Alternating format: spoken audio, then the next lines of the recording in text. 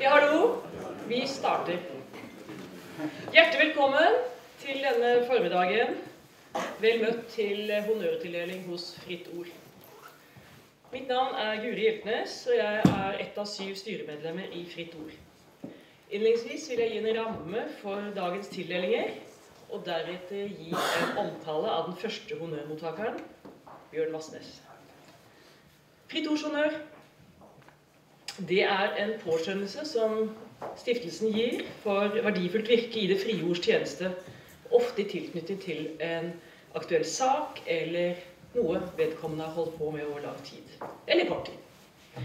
Med honnøren følger et pengebeløp på 100 000 kroner til hver mottaker, og i tillegg en tung krystallvase med blomst.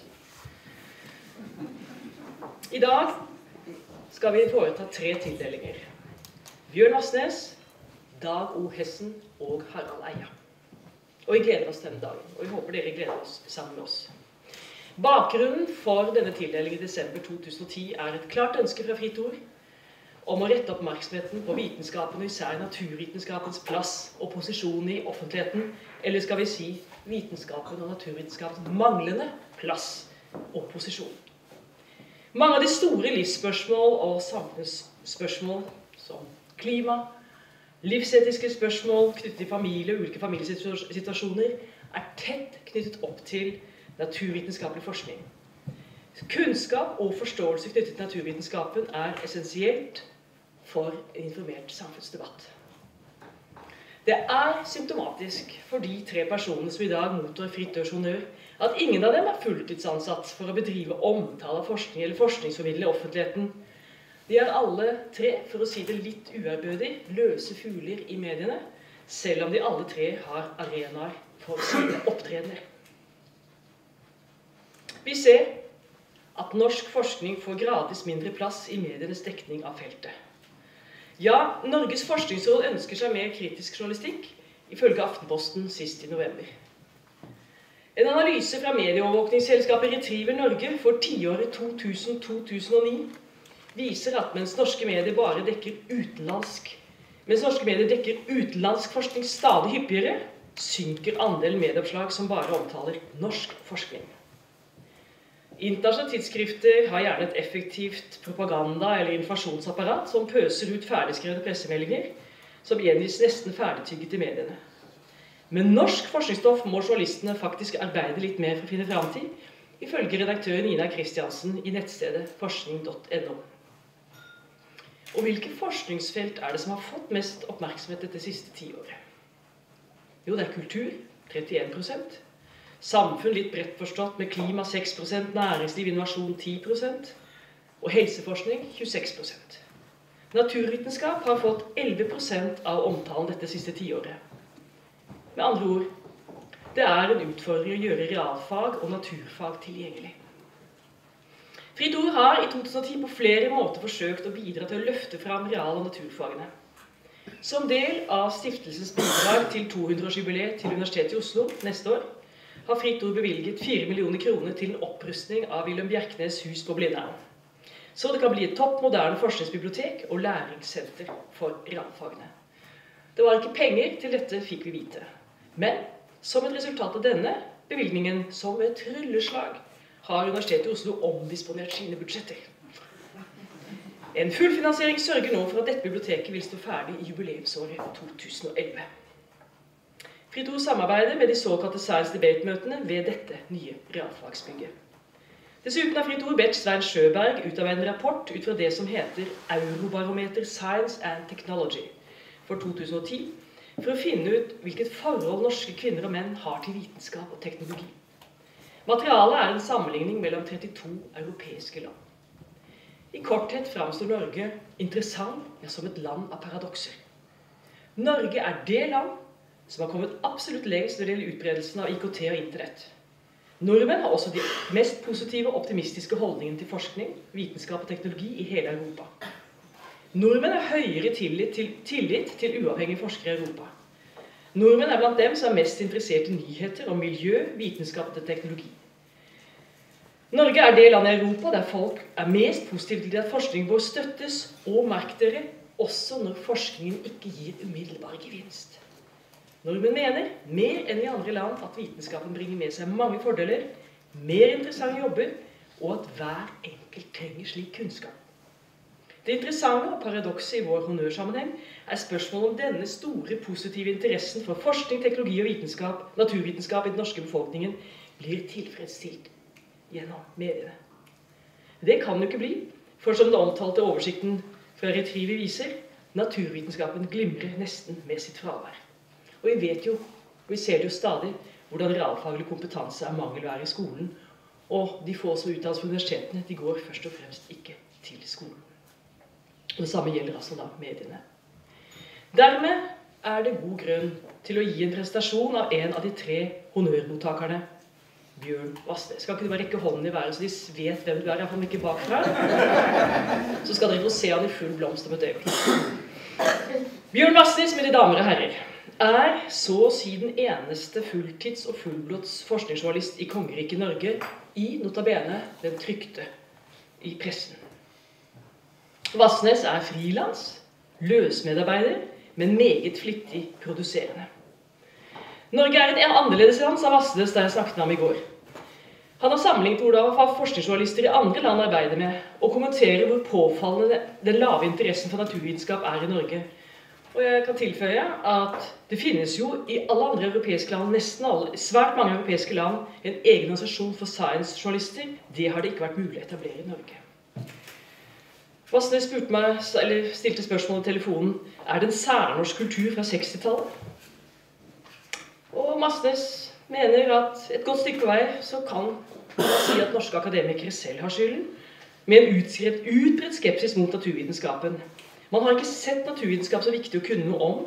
Det har ikke gitt noen kulturell posisjon. Den akademiske debatten har vært dominert av humanister og ulike samfunnsvitere. Nå skal ikke jeg gjengi mer av hans poenger. Det gjør han best selv, og han får ordet om kort tid.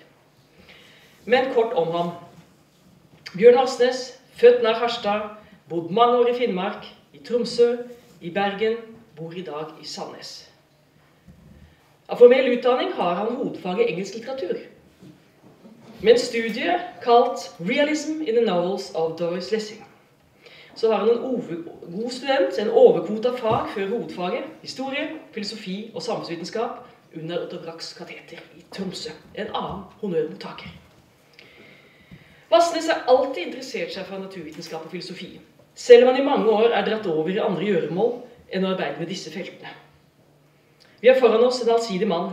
Mens han studerte, arbeidet han som musiker, og begynte å jobbe som frilans forskningsjournalist. På 1970-tallet var han med å etablere og var med folkerockgruppa Erter, kjøtt og flesk. Et skikkelig 70-tallsnavn. Sammen bl.a. med Turid Pedersen. Og sammen med Pedersen startet han bandet Nøkken i 1979, og det er mange her i dette rom som husker noen slager fra den gang. For tiden arbeider han med portugisisk gitar, er opptatt av etnisk world music og holder på med et prosjekt som kommer om ikke så lenge, i Sandnes, Stavanger. Vassnes var med i pionertiden i NRK TVs forskningsredaksjon som fra Tyholt i Trondheim 1989-90 startet opp med programmet 'Skrødingers katt'. Og han laget en rekke TV-programmer og serier for NRK utover 1990-tallet, som 'Tankens hjelpere' og om norsk kultur og identitet.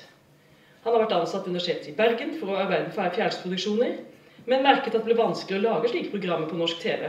Det ble billigere å kjøpe påkostede serier fra BBC, og med TV 2 og de kommersielle kanalenes komme merket han hvordan kravene til mer lettfattelige underholdende programmer dukket opp. Han har vært vitenskapsjournalist i Morgenbladet og har nå i flere år skrevet i Klassekampen. For tiden skriver han to sider store oppslag i Klassekampen, og alle vet at det er krevende rigg, fullt av små og store saker. I spaltene framstår Vassnes som en bredt orientert, som meget nysgjerrig og engasjert. Han dekker et vidt felt av temaer, fra klimaforskning til biomedisin til kjønnsforskning og mye mer. Ja, felter som egentlig burde dekkes av store staber, mener han. Han driver forlaget Margbok og tidsskriftet Marg. Et tapsprosjekt, sier han, men likevel. Marg drives iallfall per dags dato. Fordi han skriver i Klassekampen, har det falt ham naturlig også å iblant kritisere venstresida. I en artikkel i 2005 som het 'Kunnskapsfrykt på venstresida', skrev han mens resten av verden har skjønt at kunnskap blir stadig viktigere, lever den norske venstresida fremdeles i middelalderen. der ny kunnskap synes unødvendig eller til og med farlig. Eller en annen formulering. Dette var altså før valgkampen. Sitat. Ap og SV ser ikke ut til å ta selvkritikk for sin del av ansvaret for at Norge har sakket kraftig akterut som kunnskapsnasjon. Og han skriver om venstresida, som ser ut til å ha glemt det Marx sa, om at nettopp, det nettopp er den vitenskapelige teknologiske utviklinga som skal skape grunnlaget for et samfunn der alles behov kan bli dekket. Klassekampens redaktør Bjørg Brånen har fått atskillig pepper for å huse Bjørn Vassnes i sin stall. Men redaktøren skamroser sin frilansskribent for å nedlegge et kjempearbeid og for sin selvstendighet. Av årets mange titler i Klassekampen kan nevnes nå i desember naturgitt herredømme om menn og kvinner. Eller fra september vi har et feilaktig bilde av forskningsbasert kunnskap er. Eller fra juli vi har akademikere som holder på med sitt. Og så har vi en skravleklasse. Og 22. april skrev Vassnes om sin honnørkollega Harald Eia at det var den beste journalistikken på lang tid. Hjernen er vasket og hengt til tørk.